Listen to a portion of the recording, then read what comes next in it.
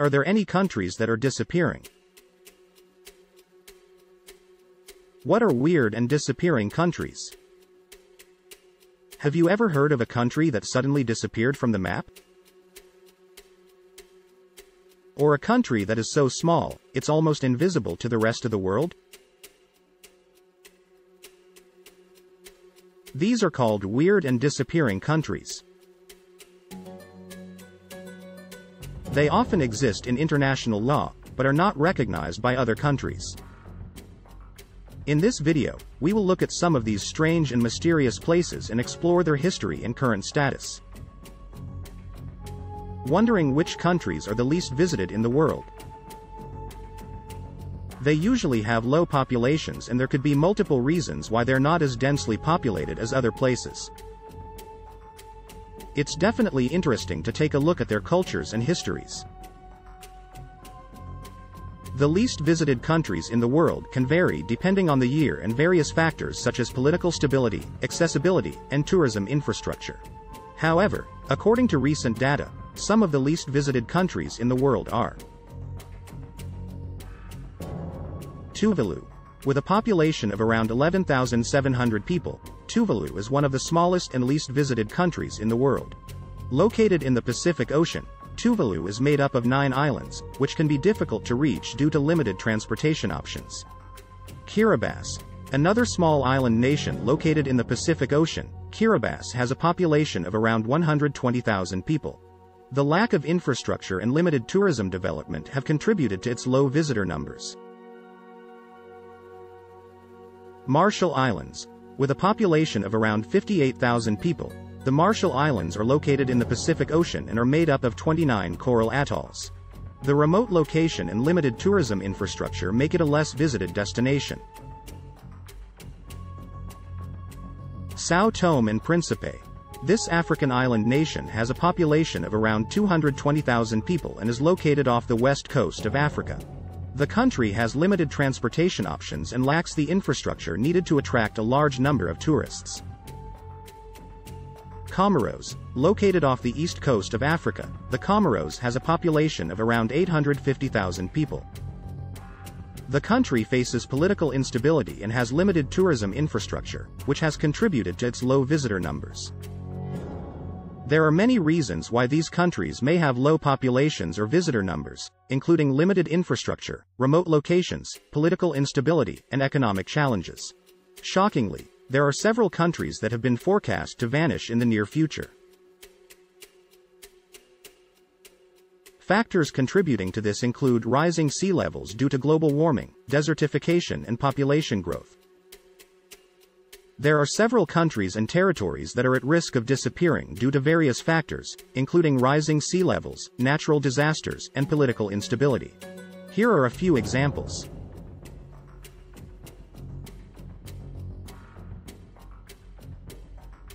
Kiribati, made up of 32 atolls and one raised coral island, Kiribati is at risk of disappearing due to rising sea levels caused by climate change. The government of Kiribati has purchased land in Fiji as a potential relocation site for its population. Maldives. The Maldives is a low-lying island nation in the Indian Ocean that is also at risk of disappearing due to rising sea levels. The government has implemented various measures to mitigate the impact of climate change, but the threat remains. Marshall Islands. The Marshall Islands, like Kiribati, are at risk of disappearing due to rising sea levels. The government has advocated for climate action and has even taken legal action against nuclear-armed countries for their role in contributing to climate change. Tuvalu with an average elevation of just 2 meters above sea level, Tuvalu is one of the most vulnerable countries to the effects of climate change. The government has also purchased land in Fiji as a potential relocation site for its population. Somaliland. Somaliland is a self-declared state in the Horn of Africa that is not recognized by the international community. Political instability and lack of recognition have made it difficult for the government to access international aid and support, which could lead to its eventual disappearance. It is important to note that the disappearance of a country or territory is a complex issue that involves various factors, and it is not necessarily a sudden event. However, climate change and political instability are two significant factors that can contribute to the disappearance of a country or territory over time. Countries that some people may consider unusual or quirky for various reasons.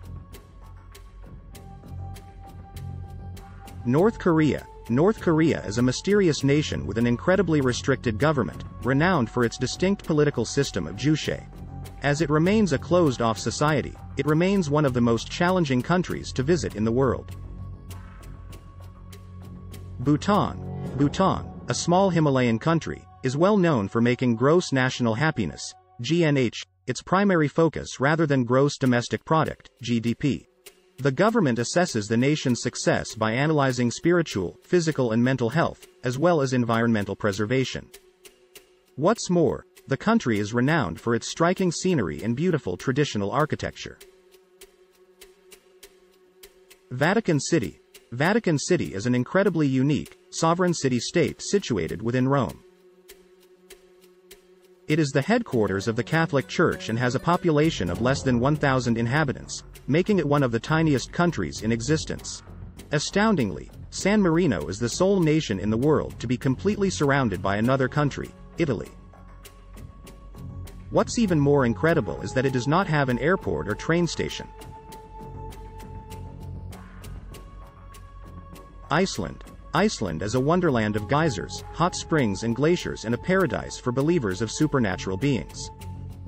Its locals are incredibly respectful of the natural environment and take great care to not disturb the supposed homes of elves and other magical creatures. Japan. Japan is renowned for its distinct culture that is often viewed as odd by outsiders. From its adoration of chummy figures, kawaii, to its passion for vending machines and game arcades, Japan's popular culture and traditions stand out from what is common in Western nations. It's worth noting that though some of these nations may seem peculiar to folks outside, they are all so deeply entrenched in culture, history and traditions that are absolutely worth discovering and respecting. Are there any countries that still have cannibals? No, there are no countries or societies in the world that openly practice cannibalism as a cultural or traditional practice. Cannibalism is considered taboo and is illegal in all countries, and any reported incidents of cannibalism are treated as criminal offenses. Historically, there have been cases of cannibalism in various societies and cultures around the world, such as in Papua New Guinea and some Amazonian tribes. However, these practices are generally no longer practiced and are often viewed as relics of the past.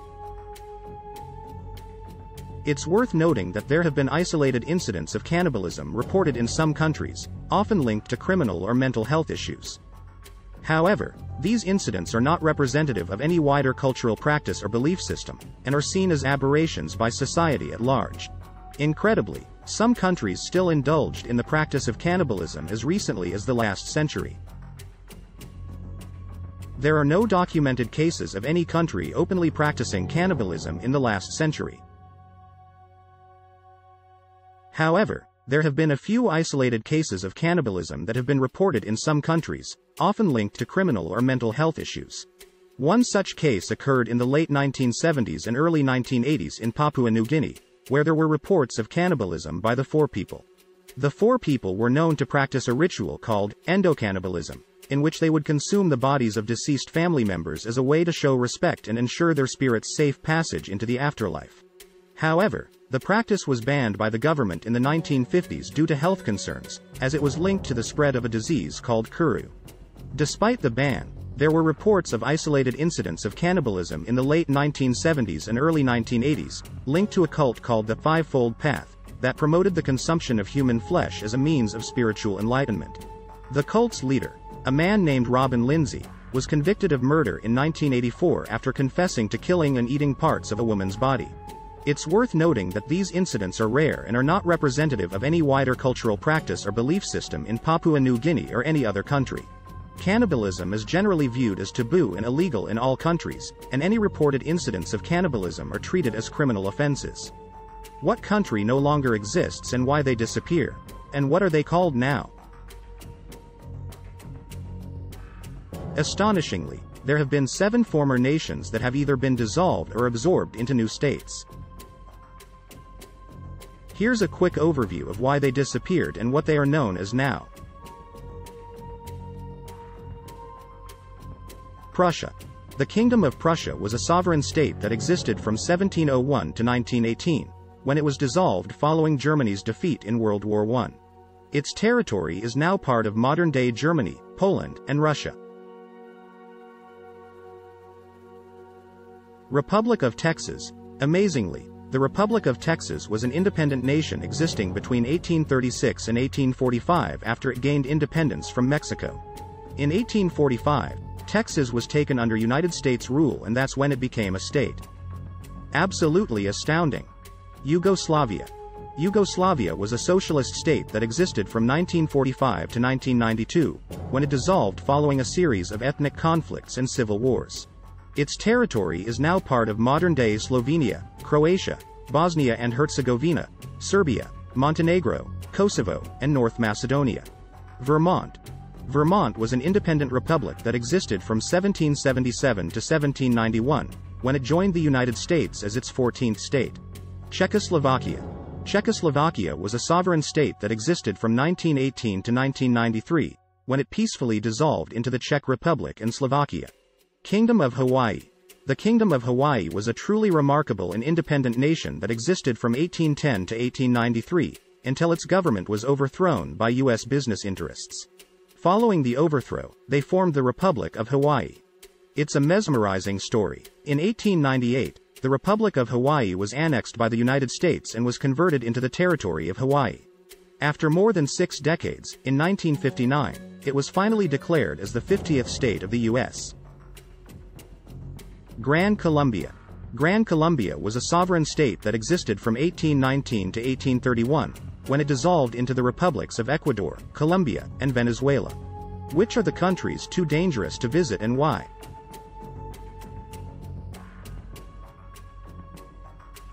There are several countries in the world that are currently considered too dangerous to visit due to ongoing conflicts, high levels of crime and violence, terrorism, and other security concerns. Syria, Syria has been embroiled in a civil war since 2011, which has resulted in widespread violence and displacement. The ongoing conflict has made Syria one of the most dangerous countries in the world, with a high risk of terrorist attacks, bombings, and other violence. Afghanistan.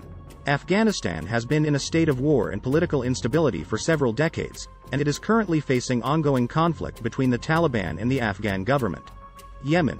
Yemen has been devastated by years of conflict, which has resulted in a humanitarian crisis and widespread violence. Somalia. Somalia has been in a state of political instability and conflict for several decades, and it is currently facing ongoing conflict between the government and various militant groups. Libya. Libya has been in a state of political turmoil and conflict since the ousting of former leader Muammar Gaddafi in 2011. Iraq. Iraq has been in a state of political instability and conflict since the US-led invasion in 2003. It's always a good idea to consult with official government travel advisories and seek advice from experienced travelers or travel agents before planning any trip to a high-risk destination.